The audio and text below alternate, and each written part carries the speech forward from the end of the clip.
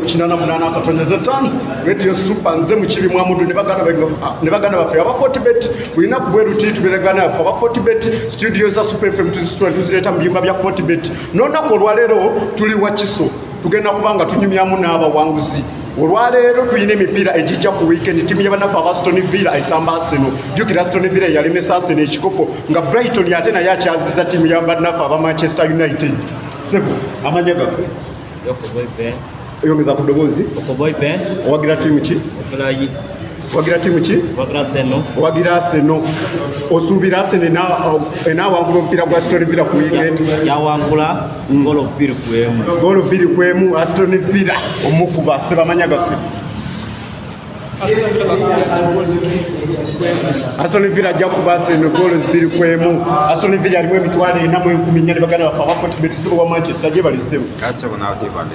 owagira tiimu kyebulaaya Man United. man united esamba brighton osuubira gugwa gutya Big zero. ani agoba Man U. mani yalimu emitwalo ebiri mu kasanvu okuba brighton seba amanya gaffe bwe bali kubetingana fortibet owangudde Eh, owagira tiimu kyebulaaya owagira arsenal esamba tiimu y'abanafu abasitoni bbiri ekyala gikuba golo ganja arsenal ejja kuba nyaku emu tegeeza golo golo oba okwata. Gologolo oba okwata nyaku emu seba amanya gaffe Nze William Magno, Mhm, os- subira Seno kukuba golo ttaano ku emu. golo tano ku emu arsenal alimu omutwalo gumu mu kanaana kansente eyo Bosco, owagira Man United, manchester united esamba brighton osuubira gugwo gutya? Amukuba ssatu emu.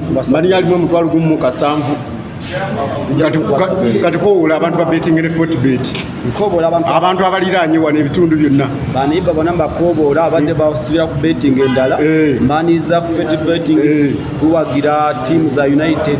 Esebo. tulina odo omulungi nnyo tulina tulina odo ensava. Sava nnyo. Tusanye kusibira ku betting endala. Ku lwakinana mu munaana katonyeza ettaano radio super muganda wa kevi masanyalaze mu studio katukomewo